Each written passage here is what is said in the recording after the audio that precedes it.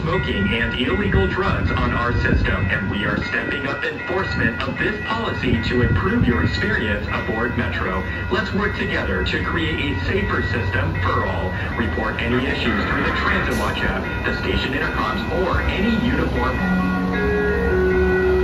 The K-Line train to Expo Crenshaw is now arriving.